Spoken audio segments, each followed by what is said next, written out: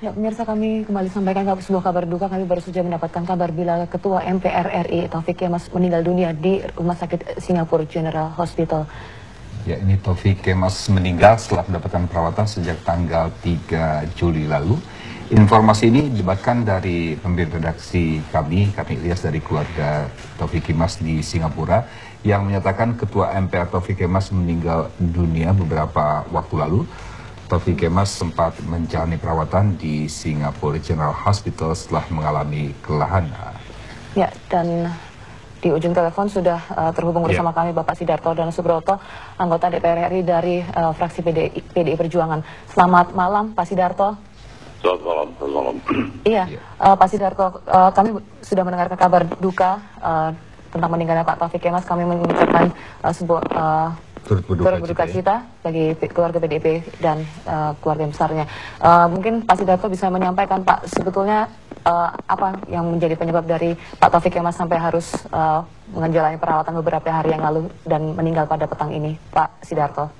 Ya, beliau uh, waktu pulang dari Indi hari Pancasila ini, beliau mengalami kelelahan, kelelahan dan tanggal 3 dibawa ke Singapura dan tadi jam 6 sore beliau berpulang. Kita minta doa dari seluruh rakyat supaya beliau dapat tempat yang sebaik-baiknya di sisi Allah. Hmm. Ya. Oke, okay. ya. Hmm. Pak, Pak Sidarto, apa, ya. apa, apa penyebab uh, Pak Taufik Kemas, uh, penyakit apa yang didera oleh Pak Taufik Kemas? Ya, beliau sudah dalam beberapa waktu terakhir ini mengalami apa? Uh, gangguan jantung ya. Jadi memang uh, beliau tidak bisa apa itu namanya bekerja full time secara seperti yang biasa dan pada waktu kembali dari Indi waktu satu Juni itu beliau mengalami kelelahan dan tanggal tiga dibawa ke Singapura. Ya. ya. Hmm. Pak Sidarto, untuk ya. pihak keluarga ini bagaimana ini? Apakah ikut uh, semuanya berada di Singapura atau atau seperti apa Pak Sidato? Sekarang semuanya di Singapura dan rencananya beliau besok jam 9 dibawa ke dengan pesawat ke Halim dan rencananya langsung dimakamkan di Taman Pahlawan Kalibata. Hmm. Ya, Pak Sidarto kembali kami ingin mengetahui uh, lebih detail ya Pak. Sebetulnya sejak kapan Pak Taufik Kemas ini menderita uh, penyakit jantung? Mungkin uh, Bapak sempat berbincang dengan beliau tentunya. Ya, selama ini beliau masih hari-hari masih kantor ya. Sampai pulang dari ND itu. Jadi memang tugas-tugas uh, hari sebagai ketua MPR masih dijalani dengan dengan baik ya. Tapi memang ada keterbatasan keterbatasan kesehatan jadi demikianlah bahwa sore ini pulang di Singapura. Kita minta doa dari seluruh rakyat supaya beliau dapat uh, dimaafkan secara dosanya dan dapat tempat terbaik di sisi Allah Subhanahu wa taala. Ya. ya. Pak Sidarto, konfirmasi kembali, jenazah saat ini berada di mana, Pak Sidarto? Di Singapura, di Singapura, di rumah di, sakit Singapura. Di rumah sakit General ya. Hospital gitu ya. Dan besok ya. rencananya ya. jam ya. 9 akan diterbangkan menuju Halim. Gitu. Betul, betul, betul. Hmm. Ya. Kemudian ada rencana hmm. lainnya dari pihak keluarga setelah itu apakah akan disemayamkan juga atau uh, ke uh, DPR uh, ya.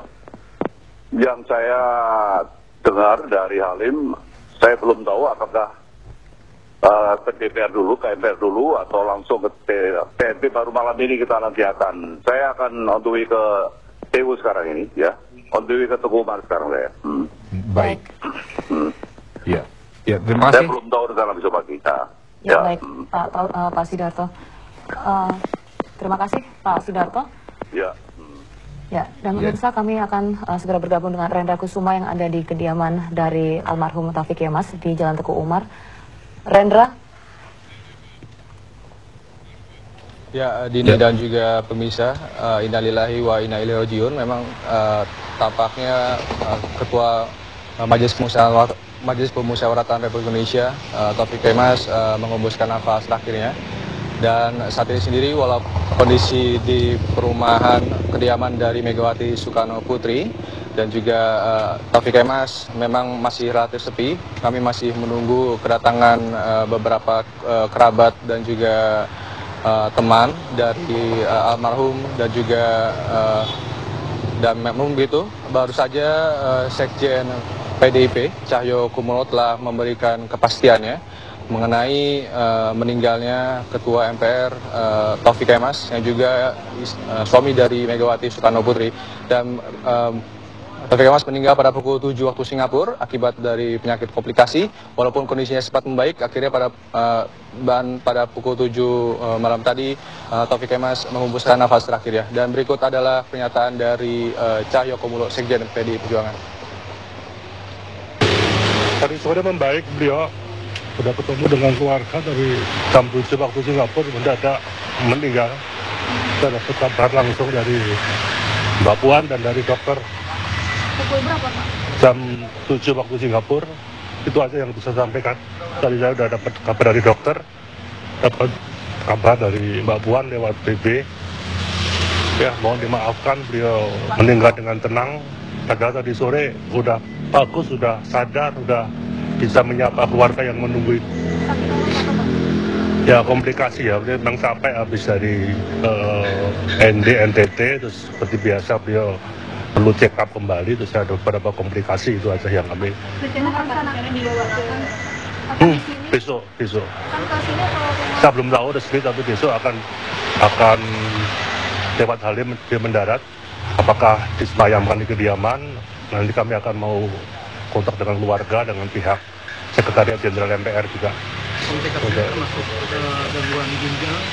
Saya nggak tahu saya nggak tahu. Tapi tadi sore udah membaik maka kami tadi kan bikin rilis uh, panjang lebar apa sudah ada kabar membaik itu aja. Tapi dari jam 7 mendadak dia Di sana Semua Ibu Mega dan semua anak menantu cucu di sana semua. Sejak Ibu Mega sejak hari Selasa mendampingi Pak Taufik berangkat. Memang dua hari yang kami dapat kabar uh, sudah baik, sudah sudah di kamar biasa, tapi kemarin dia masuk ke ICU kembali. Itu yang saya tahu. Oh enggak enggak, saya tanggung jawab di, di kediaman sini untuk persiapan dia. Untuk namun mungkin besok besok siang besok siang. Saya belum tahu belum tahu kabar resmi, tapi beliau punya bintang Mahaputra mungkin beliau di Taman Makam Pahlawan ya, karena orang tua beliau juga ada di, di Makam Pahlawan. Enggak, saya belum bisa menyampaikan uh, itu berita dari dari keluarga. Kami atas nama keluarga juga menyampaikan mohon maaf pada semua teman-teman pers, masyarakat yang selama ini memberikan perhatian. Udah. Saya tiga empat hari yang lalu ketemu beliau, nggak ada apa-apa sih siap aja. Ya, sementara itu dulu dulu, ya, sebentar.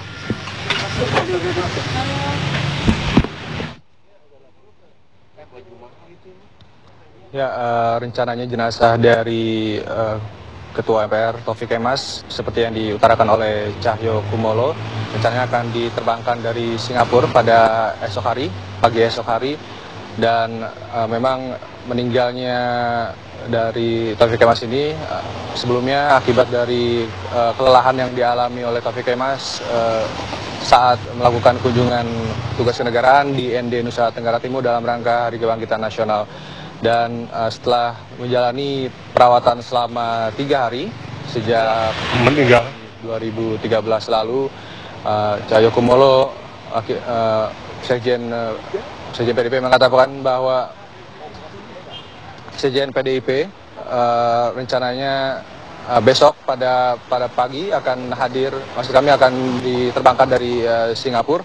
Dan seperti yang kita ketahui bersama bahwa info Ilai Rojiun, uh, Taufik Kemas meninggal pada pukul uh, 7 seperti yang diutarakan oleh Cahyo Kumolo pada pukul 7 pagi 7 uh, malam tadi. Dan uh, rencananya penerbangan itu akan dilakukan pada pagi dan kita ketahui bersama bahwa akibat uh, kelelahan yang dialami oleh uh, Taufik Kemas saat melakukan tugas kenegaraan di ND Nusa Tenggara Timur. Dan kita akan uh, menyimak bersama bagaimana pernyataan dari Sekjen PDIP eh, Cahyokumolo.